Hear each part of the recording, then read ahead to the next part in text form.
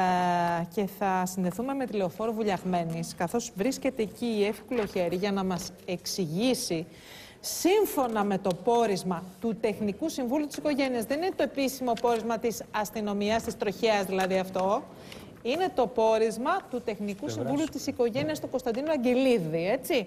Το πόρισμα της τροχέας αναμένεται. Για πάμε στην Εφη λοιπόν να δούμε τι αναφέρει αυτό το πόρισμα Εφη. Καλησπέρα από τη λεωφόρο Βουλιαγμένη στο ύψος της Βούλα. Εδώ έγινε λοιπόν το τροχαίο ατύχημα του που ανήμερα το Χριστουγέννων οδήγησε τον Κωνσταντίνο Αγγελίδη στην εντατική όπου παρέμεινε για 57 μέρες και όπου παραμένει ακόμα νοσηλευόμενος. Σε αυτό εδώ λοιπόν το σημείο τι συνέβη εκείνο το βράδυ. Κωνσταντίνος Αγγελίδης και ο οδηγός του λεωφορείου οδηγούσαν ε, κατεβαίνοντας στη Βουλιαγμένης ε, με κατεύθυνση προς Βάρη. Ε, ήθελαν και οι δύο να στρίψουν, όσοι οδηγούν σε αυτό το σημείο και θέλουν να πάνε στη Βάρη, ε, πρέπει να στρίψουν όχι σε αυτά τα φανάρια που βρισκόμαστε, στα επόμενα, στα επόμενα φανάρια όπου βρίσκεται η οδός Καλύμνου. Είναι σε μια απόσταση 300 μέτρων από το σημείο που βρισκόμαστε. Ε, ο Κωνσταντίνος Αγγελίδης ήθελε να πάει στη Βάρη για εκείνη το σπίτι του, ο οδηγός του λεωφορείου, ε, γιατί εκεί ήταν το δρομολόγιο που έκανε εκείνη την ημέρα. Κατέβαιναν λοιπόν και οι δύο τηλεφόρο βουλιαγμένοι και κάποια στιγμή ο οδηγός του λεωφορείου φέρεται να έκανε έναν απότομο ελιγμό για να μπει στην αριστερή λωρίδα, αριστερή λωρίδα σε αυτό το σημείο που βρισκόμαστε.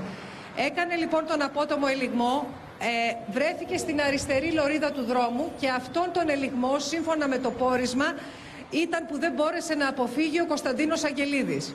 Χτύπησε στην πίσω δεξιά πλευρά του λεωφορείου, το λεωφορείο βρέθηκε σχεδόν με μηδενική ταχύτητα ε, στην αριστερή λωρίδα του δρόμου. Ο Αγγελίδης με τη μηχανή του σύρθηκε, το σώμα του βρέθηκε ακριβώς στο σημείο που βρίσκομαι. Χτύπησε σε αυτό εδώ το σημείο του δρόμου στο πεζοδρόμιο και η μηχανή του σύρθηκε 10 μέτρα πιο κάτω και βρέθηκε στο, στη βάση του φαναριού, του κοντινού φαναριού που βλέπουμε, όπου εκεί πήρε και φωτιά. Τώρα, σύμφωνα με τους πραγματογνώμονες της οικογένειας. Μισό λεπτό, ε, να το έχουμε κάνει εφηβού. Ναι. Το έχουμε κάνει σε ένα γράφημα όλο αυτό που περιέγραψες. Για να το εξηγήσουμε, νομίζω Βασίλη, παρακολούθησες και εσύ να με βοηθήσεις. Ναι, ναι. Η κόκκινη γραμμή είναι η πορεία του Κωνσταντίνου, του ναι. Ακελίδη, η κόκκινη γραμμή. Η μπλε γραμμή η πορεία του λεωφορείου. Εδώ λοιπόν, σε ένα σημείο, δυστυχώς, οι πορείες αυτές, σύμφωνα με το πόρισμα του Τεχνικού Συμβούλου της Οικογένειας, διασταυρώνονται ξαφνικά και αναπάντεχα. Έτσι, Βασίλη; Τέμνονται Έτσι, δηλαδή. Φτάνουν σε ένα σημείο Πώς τέμνονται, η μπλε γραμμή που είναι το λεωφορείο κάνει απότομα αριστερά. Για ποιο λόγο στρίβει το λεωφορείο όμως αριστερά, που ήθελε να πάει έφη το λεωφορείο; Το λεωφορείο ήθελε να στρίψει στα αμέσως επόμενα φανάρια από αυτά που βρισκόμαστε, που βρίσκονται γύρω στα 300 μέτρα πιο κάτω. Σε αυτά τα φανάρια βρίσκεται η οδός Καλύμνου, η οποία οδηγεί στη Βάρη. ο οδηγός του λεωφορείου ήθελε να πάει στη Βάρη, γιατί αυτό ήταν το δρομολόγιο του, και ο Αγγελίδης, γιατί εκεί είναι το σπίτι του. Είναι η αμέσως επόμενη οδός.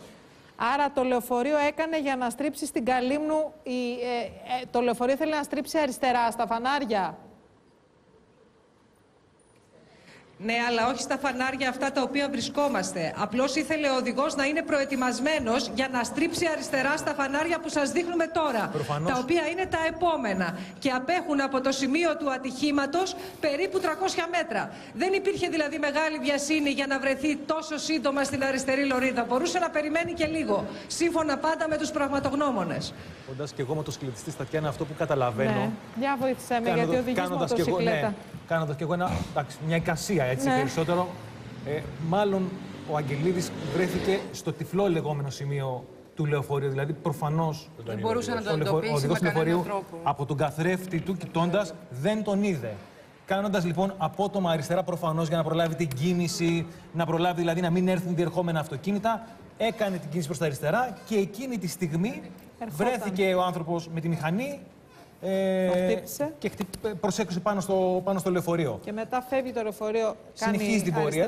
και όλο ευθεία πέφτει κάτω. Ένα δεύτερο πράγμα που καταλαβαίνω, χωρίς να μην παρακαλώ το όνομα έτσι, ε, είναι πως από τη μικρή απόσταση μετά από το σημείο πρόσκουρσης μέχρι το σημείο που σταμάτησε πλέον ο αναβάτης, έτσι, καταλαβαίνω ότι μάλλον δεν πήγαινε με μεγάλη ταχύτητα. Δηλαδή, άμα φύγεις, έχω φύγει με τη μηχανή.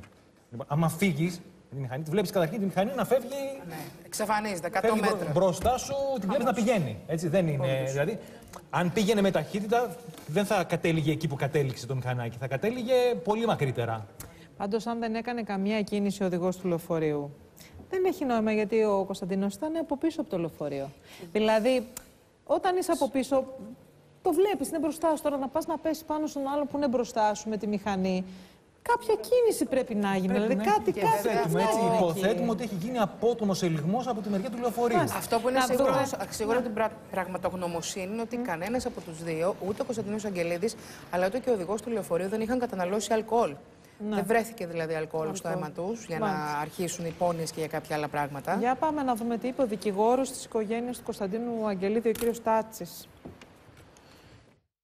Η αυλεψία, η μικρή αυτή αυλεψία του οδηγού του λεωφορείου να μην ελέγξει τις πίσω λωρίδες επιχειρώντας να αλλάξει όχι μία αλλά πολλές λωρίδες κυκλοφορίας στο σημείο της λεωφόρου Βουλιαγμένης που έγινε αυτό το τραγικό συμβάν έφερε αυτό το αποτέλεσμα. Το μικρό ίχνος συστήματος μηχανής σε συνδυασμό με τα λοιπά στοιχεία που έχουν έρθει στο, στο πόση δημοσιότητα δείχνουν ξεκάθαρα το πώς ε, συνέβη αυτό το, το ατύχημα. Είμαστε βέβαιοι ότι η συνέχεια της διαδικασίας θα ρίξει άπλετο φως το όλο συμβάν και ευελπιστεί η οικογένεια και το 7χρονο παιδί του να δικαιωθούν σύντομα.